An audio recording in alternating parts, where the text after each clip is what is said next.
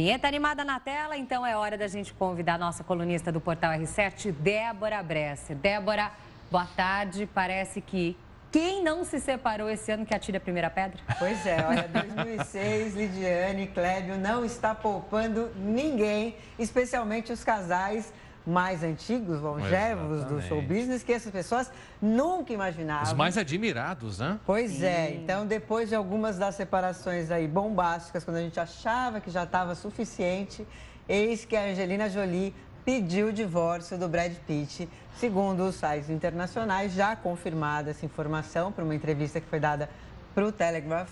É, ela pediu divórcio nessa segunda-feira, ontem, e hoje que veio a notícia.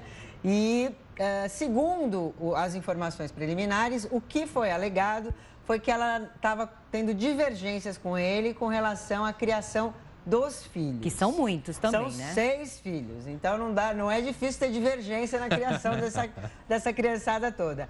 Acontece que esta é a informação que está sendo veiculada de uma forma mais oficial. No entanto, o a, a Page Six, que é uma página lá do, do, de um jornal americano, ela garante que o problema todo foi um, uh, um caso extraconjugal que o Brad Pitt teria tido com uma atriz, a Marion Cotillon, que é a que fez o Piaf, de Piaf, ela ganhou um Oscar pelo Olha Piaf. ela aí. Pois é, parece que ela que teve um romance com o Brad Pitt durante as filmagens do Aliados. a história se repetindo, Débora Bressa? Pois é. é. E aí, imagina... Brad Pitt é reincidente? Pois é, tá parecendo que sim. e aí, as redes sociais vieram abaixo com essa história, porque assim, lotaram de, de gifs e de memes da Jennifer Aniston. Por quê? Na época em que o Brad era casado com a Jennifer Aniston, ele fez um filme com a Angelina Jolie, o Mrs. and uh, Mrs. Smith, e uh, teriam se conhecido ali e, né, teoricamente, a Angelina teria falado que não, que não ia ficar com ele porque ele era casado, mas, né, é, o que consta é que depois das filmagens é, desse, né, lá desse filme, que foi onde eles se conheceram, Brad e Angelina, ele terminou o casamento de cinco anos com a Jennifer Aniston para ficar com a Angelina. Então vamos ver agora como é que a Jennifer Aniston deve estar neste momento. Tem um gif bem especial, olha só. Olha aí, ó. ó. Até que demorou, hein? Mas eu já sabia.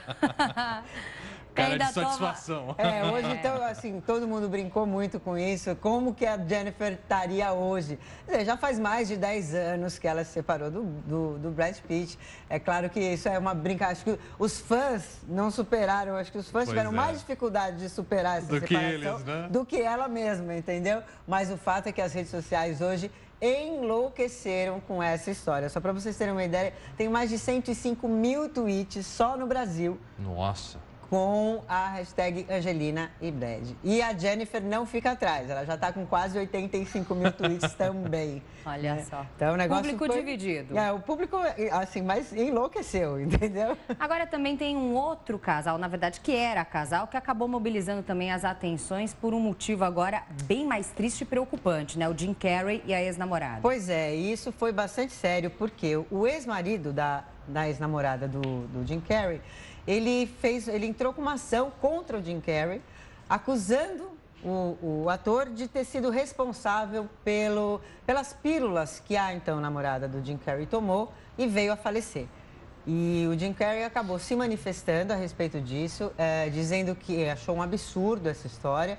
Ele está falando que isso, né, estão explorando a, a, né, a morte a da, da, moça, a imagem dele, enfim. E ele realmente veio a público falar que ele poderia perfeitamente sentar com um advogado desse cara e tentar resolver isso, mas que ele acha importante é, deixar isso claro, mostrar que isso está acontecendo. Mas ele realmente disse que ele, ele disse que ele não vai tolerar isso. Por quê? Qual foi a questão? O que eles estão alegando é que ele teria comprado as drogas, comprado os medicamentos que foram usados por ela e ela acabou tomando esses medicamentos e veio a falecer. Então, como se ele tivesse sido responsável. Facilitado. Facilitado né? o fato dela ter ingerido essa, esses medicamentos e por, né, por ele ter conseguido comprar e, todo, e a, esse, nessa acusação, ele teria comprado esses remédios, inclusive num nome falso. Então, o negócio é bem grave, bem sério, mas ele realmente ele já veio, ele não fez uma defesa ainda no próprio processo. Né? No processo, ele ainda não se manifestou. Ele, por enquanto, só veio a público e se disse é, chocado com essa atitude do ex-marido dessa moça, né, do, do, que era a namorada dele, que veio a falecer, se suicidou, enfim, é, um, é, uma coisa bastante séria, bastante grave. E agora vão ter que provar, né? Falaram isso, agora vão ter que provar e ele está realmente bastante inconformado.